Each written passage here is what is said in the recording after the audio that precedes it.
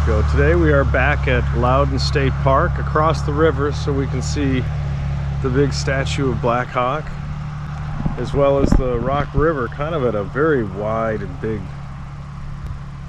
point. It's a bigger river than it feels like.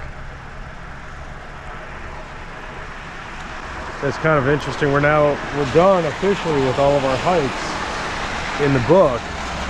A lot of rivers and uh, I always thought the Rock was just sort of a smaller river, but at this point it's, it's one of the bigger ones.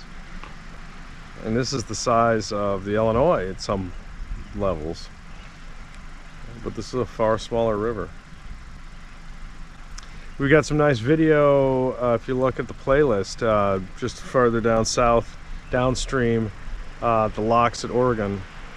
And um, got a nice audio track there. Hopefully the rain will stop and we'll get some better weather tomorrow.